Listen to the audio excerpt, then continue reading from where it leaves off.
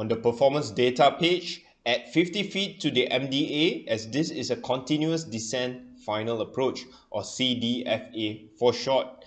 Back in those days, the pilots were using the dive and drive method, descending and then flying level at one point until the misapproach point.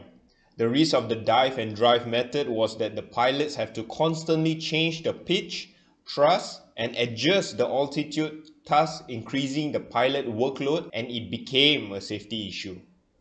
Ladies and gentlemen, welcome to my channel Captain SQ where we're going to discuss on Airbus systems, emergency procedures and supplementary techniques on how to fly the plane.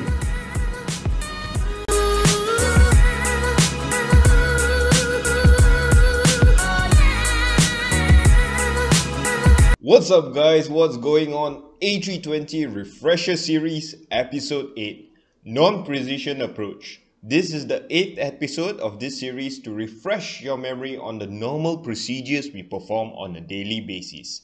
Do enjoy this series. Disclaimer, always refer to your company manuals. This video is merely a guide. And before we start, do click on the like button, subscribe and press the bell for the latest episode updates. Okay, first question. What is non-precision approach? Answer. An approach that is not precise. Well, there are a few approaches that is a non-precision approach. Number one, a VOR approach. Number two, an NDB approach. Number three, a localizer or localizer backcourse approach. Number four, an RNAV or GNSS approach. If you have an autopilot and auto thrust, use it. The approach can be flown both in managed or selected guidance. Let's talk about managed approach. Basically, flying a managed approach is like being married, having a partner to help you out through life. Just as you have to make sure you get married to the right boy or girl or day, you have to make sure that your nav accuracy is high. Oh, so high. And the database in the FMGC is correct and only then you can fly in managed approach. The autopilot and FDs guide the aircraft on the approach both vertically and laterally from the data inserted in the flight plan page in the FMGC.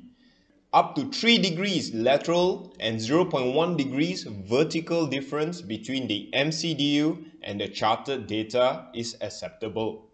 On the performance data page, at 50 feet to the MDA as this is a continuous descent final approach or CDFA for short.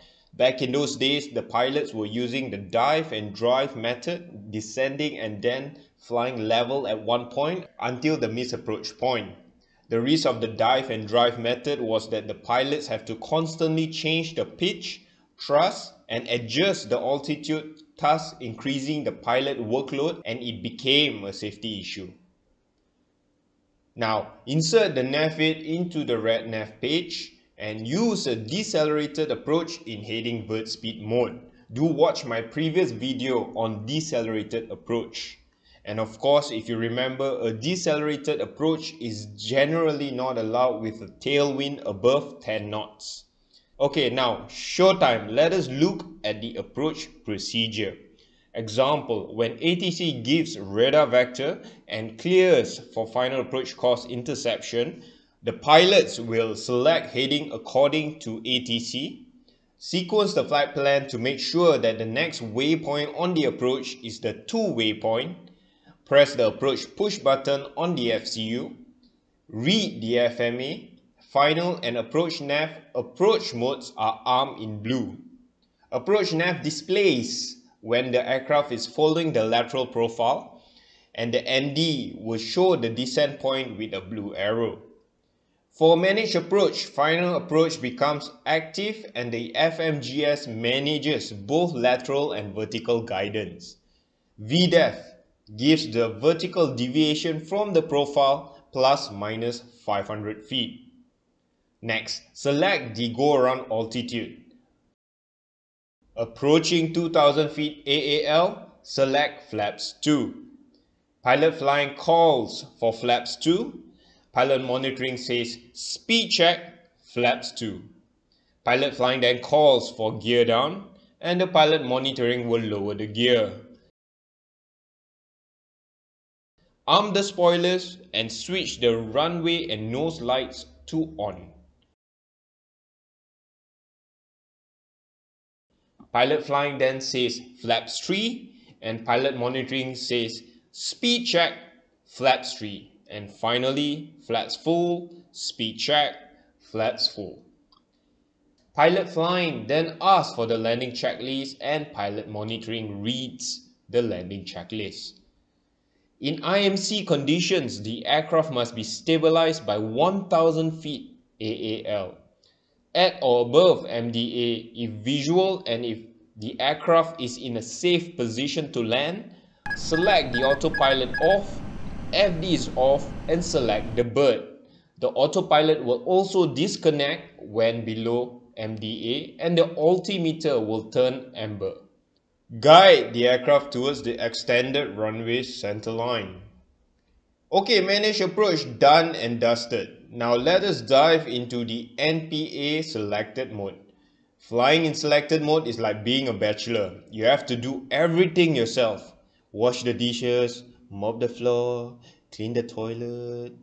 Anyway, if the approach is not in the FMGC database or nav accuracy is low, then we would have to fly in a selected mode.